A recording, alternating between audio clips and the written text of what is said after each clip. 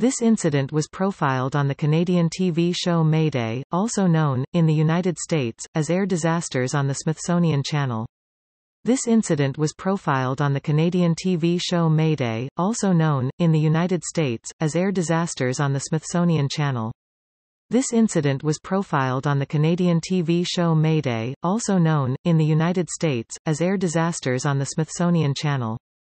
This incident was profiled on the Canadian TV show Mayday, also known, in the United States, as Air Disasters on the Smithsonian Channel. This incident was profiled on the Canadian TV show Mayday, also known, in the United States, as Air Disasters on the Smithsonian Channel. This incident was profiled on the Canadian TV show Mayday, also known, in the United States, as Air Disasters on the Smithsonian Channel.